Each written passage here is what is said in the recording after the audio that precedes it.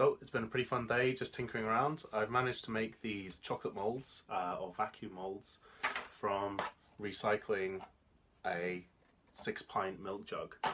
And I kind of thought uh, this was kind of interesting as all I really needed to do was using one of these Meiku form boxes and essentially I just got a bit of galvanized strip, bent it into this shape and popped it in so that it keeps it extra hot and is able to me melt um, basically slightly higher temperature HDPE plastic, which is what the milk jugs are made from.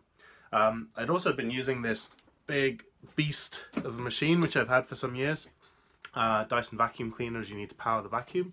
But I also came across this little mod which I made, uh, which is basically a little connector hose that goes onto, let's just do it here.